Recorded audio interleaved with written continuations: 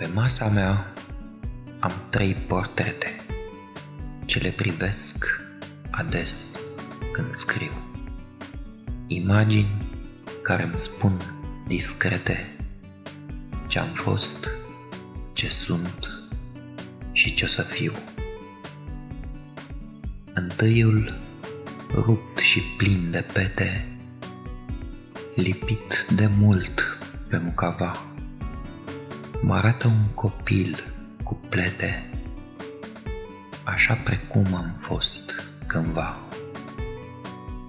Al doilea, ce mai podoabă, baciocorit și el de fum, mă arată trist, cu fața slabă, bătrân, așa cum sunt acum.